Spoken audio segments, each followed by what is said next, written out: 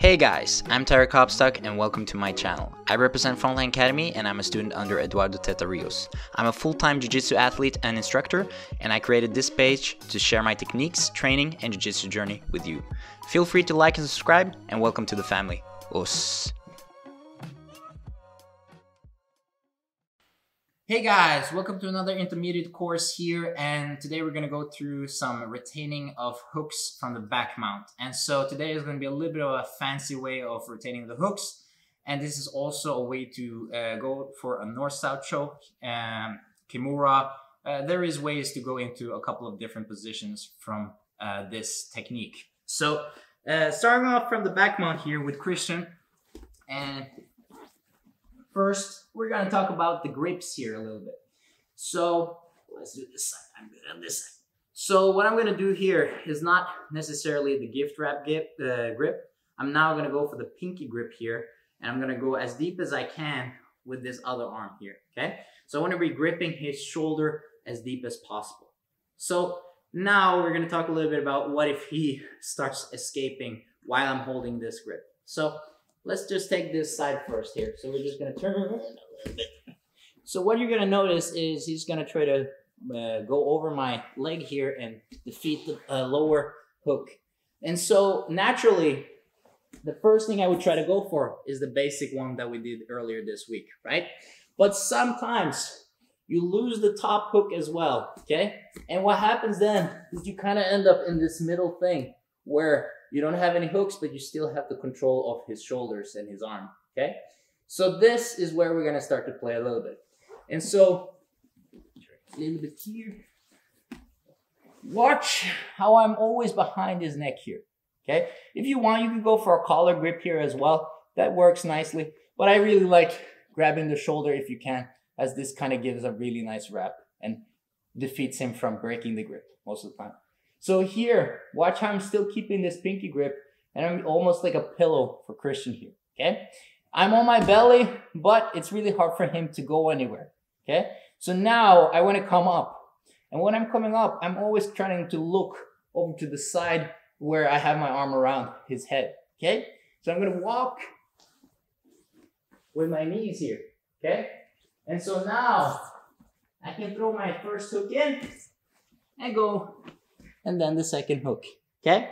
Same thing happens here. He's gonna escape.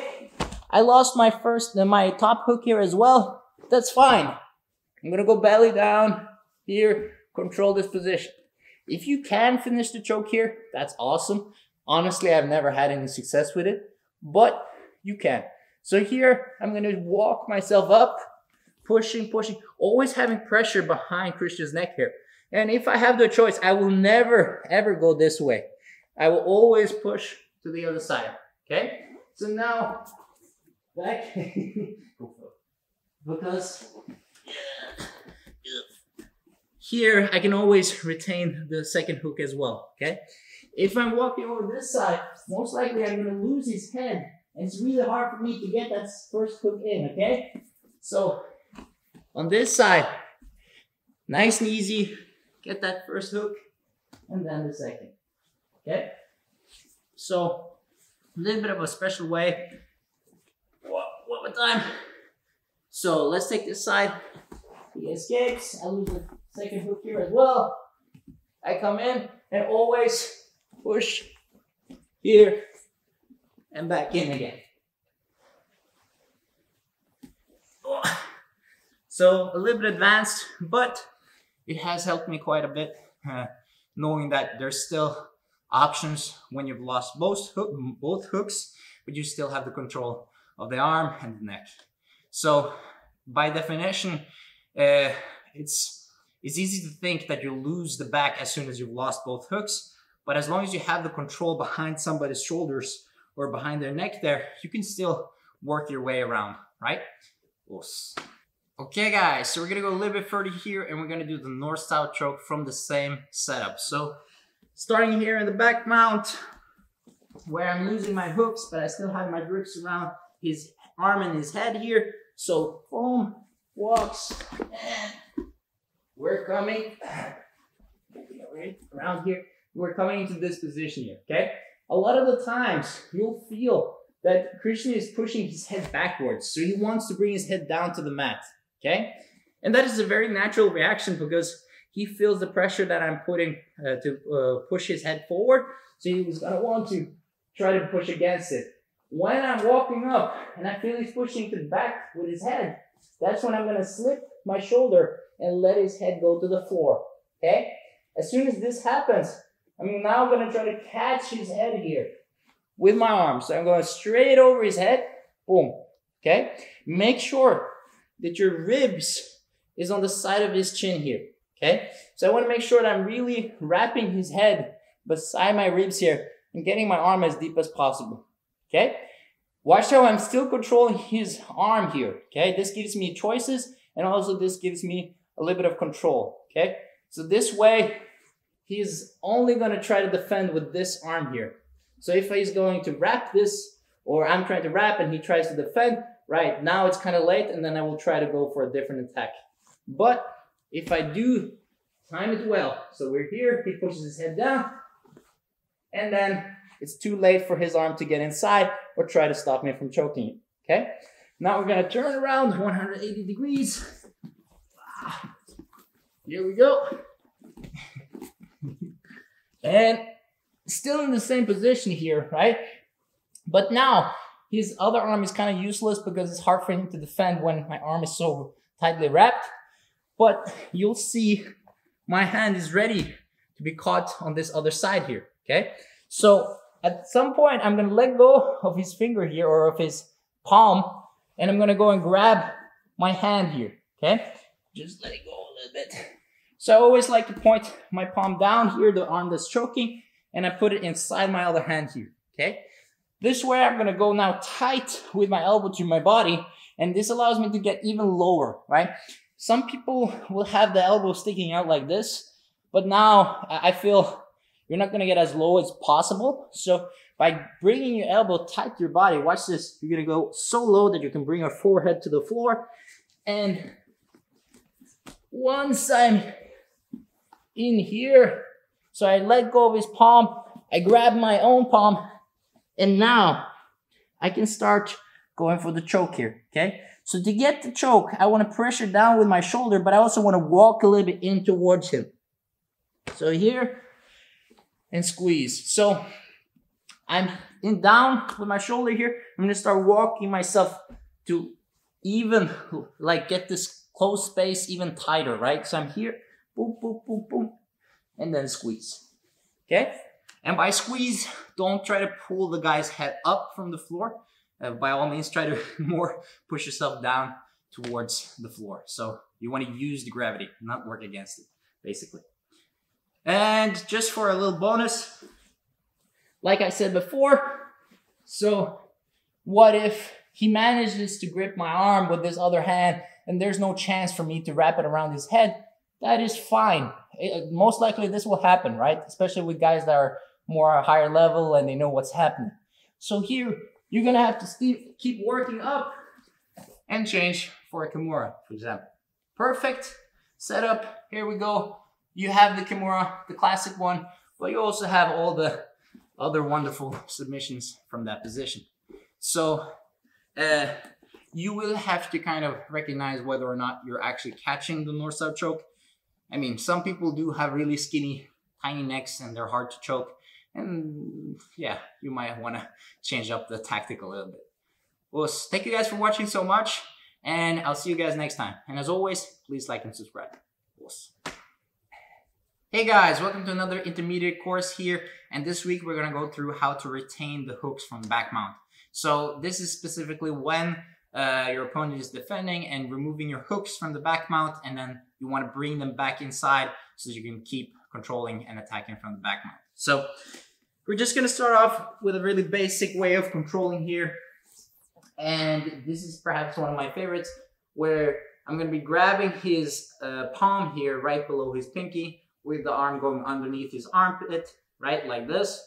This is a very nice grip that kind of bends his wrist backwards and makes it really hard for him to remove it, okay? My other hand is gonna go right across his throat and I'm gonna try to catch his shoulder or his delt or his trap if I can and keep this control here, okay? Of course, if I can choke him, that would be perfect, but most likely they're gonna have their chin inside or there's gonna be some sort of way that they're defending, right? This is fine too. So I'm just controlling here, okay? Now, we're gonna talk about, yeah, let's take this side. So we're gonna talk about what happens when he is removing my hooks, okay? So now he removes both of my hooks here. So I'm losing both the bottom hook and I'm losing the top hook as well, okay? And this way now, it's hard for me to retain like I used to do if you watched the beginners uh, course earlier this week, okay? So now I'm gonna walk myself back all the way to my belly here.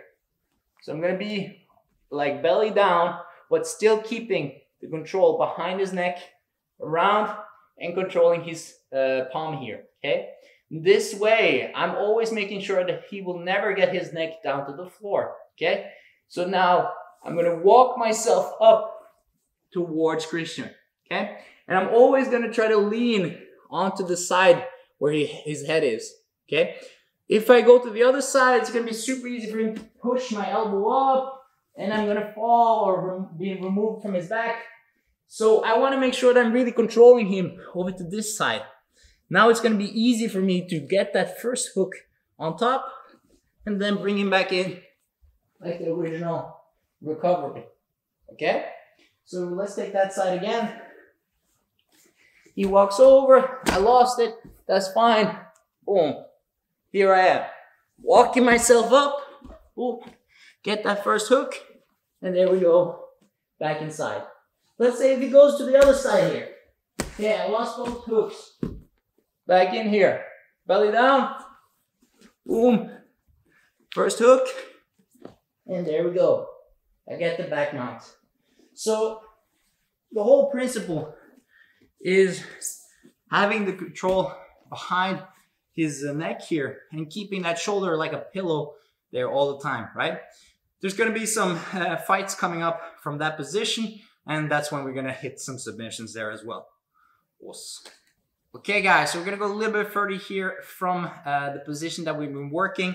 So already let's say, boom, here, he's going out to the side, and I'm coming into this position here, okay? So once I'm here, there's of course a fight where Christian is gonna try to bring his head to the floor here, okay? And that's the reaction I'm looking for in this scenario. So I'm gonna be walking usually a little bit up towards him, and I'm gonna feel that he's pushing back with his neck, and that's when I'm kind of letting go and letting his head slip down, okay? So now I'm going to catch his head with his arm as deep as possible. Okay? Make sure to time it before this arm can get in. So if he can grab your bicep or something like that, then it's not going to be tight enough. Okay? And then we have to have a different attack for that scenario. Okay? So now I got my arm all the way wrapped. So now if he tries to bring this arm in again or try to defend, it's going to be really hard for him to take my arm away. Okay? So this is perfect. Once I've had this established, I can start setting up the north-south choke. Let's move over to the other side. And so I was here. Boom. I let his head slip. I caught his head. Boom. Okay. So now I'm going to change my grip from his palm to my own palm down here. Okay. And I'm going to make sure now to grab my palm with this one turned downwards. Okay. So I'm going to be here. This way I can go really low and bring my forehead to the floor here, okay? Make sure that my ribs are beside his chin here. So I'm really putting pressure on the side of his head as well. Some details here. So this palm is pointing down. This one is catching it, okay? My elbow is not flared like this. This is gonna keep me quite high, so I wanna bring it tight to my body so I can get as low as possible. I want my shoulder to really put pressure on his neck here. And I'm gonna bring my ribs closer by walking almost like a clock, but in the opposite direction. So counterclockwise in towards his neck and then still creating pressure, okay? So from this position, boom, I let go of his hand here. I'm grabbing my own palm and now making pressure, I get the choke, okay?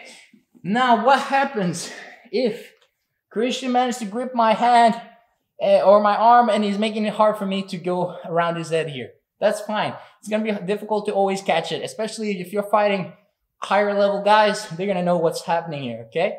And so now I'm just fighting to come up, force his arm forward, and switch to the Kimura grip here, okay? A lot of different attacks from this position. It doesn't have to be the classic Kimura, but definitely a good choice to go for in that kind of scenario, okay? So you're gonna have to be ready to see if uh, if the choke's not working, let's say the guy has really tiny like strong neck, then you might have to change for the Kimura anyhow, right? Well, thank you guys for watching. I hope you guys enjoyed it. And as always, please like and subscribe. I'll see you guys next time. Was.